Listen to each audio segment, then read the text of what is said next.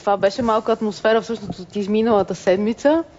Ивлино, опадък и падение. Харесвайте страницата. Един от вас ще я получи. Книгата е супер.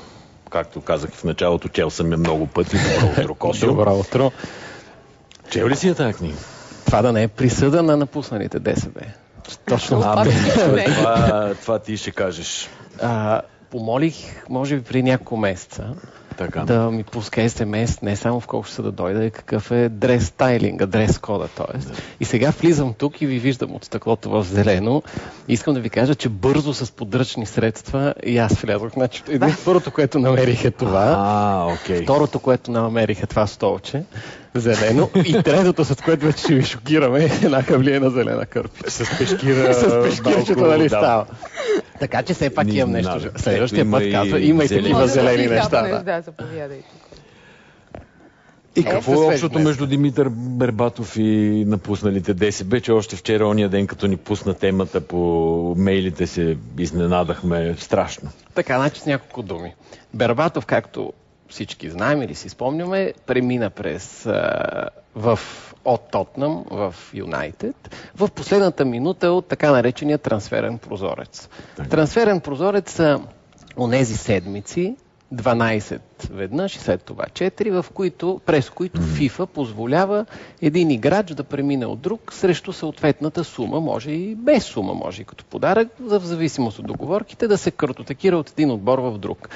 Бербатов отиде в Манчестър, имаше три сезона там, ако можем да ги разделим така. Първият отбеляза 14 гола, вторият 12, третия по-малко, хет-трик на Ливерпул, в един матч отбеляза 5 гола и така нататък. Тоест в известен смисъл до някъде на него му беше даден шанса, а, като най-скъпо платения тогава и играч, ако не се лъжа, 30 милиона лири. 35 милиона лири. 35 Страшно, милиона, да. да, страшно число беше. а, беше му даден а, шанса да се, да се докаже. Поради някакви обстоятелства, дали устаряване, дали неприязан, дали скандал с треньора, той в един момент отиде на резервната скамейка. А, където стои до ден днес. където стои Където до ден днешен на мястото. Където си тежи на мястото. Като погледнем извън това, какво се случва в, в ДСБ. А, няколко души напуснаха поради а, обвинението, че не им е бил даден шанс да се изявят, т.е. стоели са си непрекъснато на скамейката, което не е вярно. Единият беше сам председател, другият гастролираше по телевизионните екрани, третия беше кандидат за кмет и така нататък. Тоест и те имаха своя шанс като Бербатов Да се отбележат изявят- кой Да. три гола, кой пет. Да, но Да. ви, според мен, нито един от тях не отбеляза нито един гол. Така ми се струва. Впоследствие пък се оказа, Те че... мислят друго. А, но нищо, че съдята е виновен нещо. да.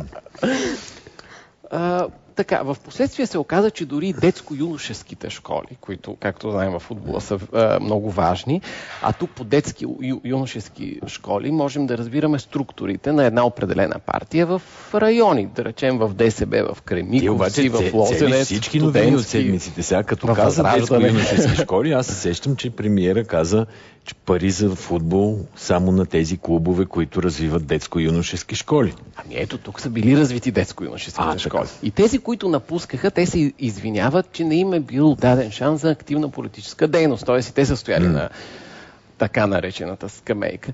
Обаче те са били шефове на тия детски и юношески школи, т.е. имали са шанси за политическа дейност и за обществена, да развиват идеи, да се доказват и така нататък, да си спечелят битката в партията. Но, за съжаление, нито един от тях не си я спечели. Сега аз имам две предложения. Дай. А, първото е а, във връзка с така наречената дик, диктатура на Костов. А, има една много популярна книга, в момента е бестселър в Штатите. Тя е за президента Линдън Джонсън, който става президент, когато убиват Кенеди. Тоест, по неволя той става Да. президент.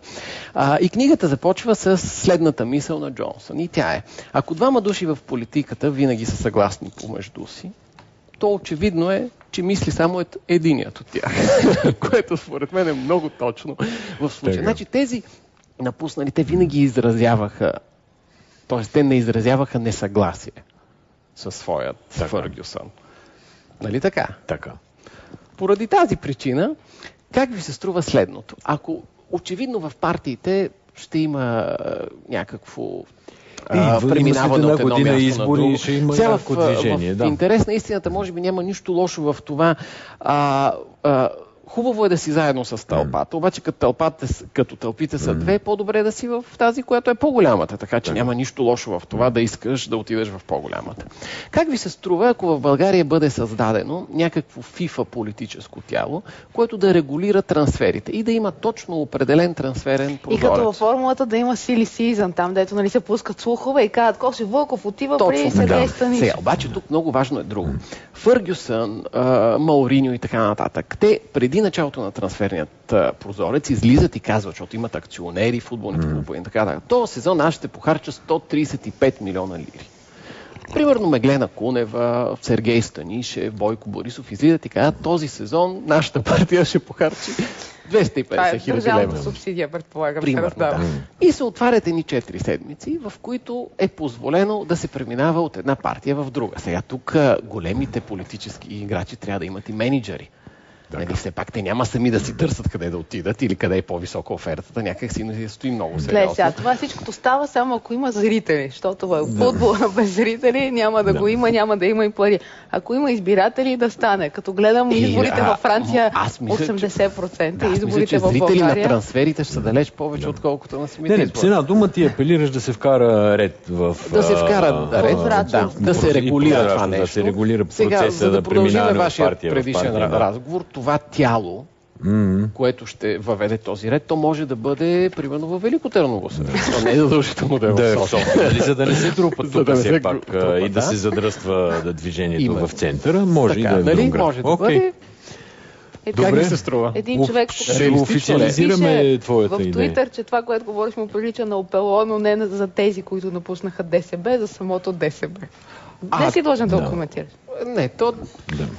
Аз и преди съм казал, ДСБ винаги е била бутикова партия, не, с- никога не е бил с идеята да бъде много голяма, така че Добре. Добре, прод- Много благодарим. Продължаваме, Ние продължаваме с... закона за конфискация, който е много важен според нас. Очевидно и за други, като видяхме посланници, които следяха номера за отблизо. закона е да се винаги до 249. Абсолютно. Хиляди и нямаш Да, да, и да нямаш проблеми. Въпреки, че там е по оценка пазарна. Коментар за закона, коментар за това какво става в специалните служби след един консултативен съвет при президента миналата седмица на генералата Нас Атанасов. Останете с нас след малко продължаваме.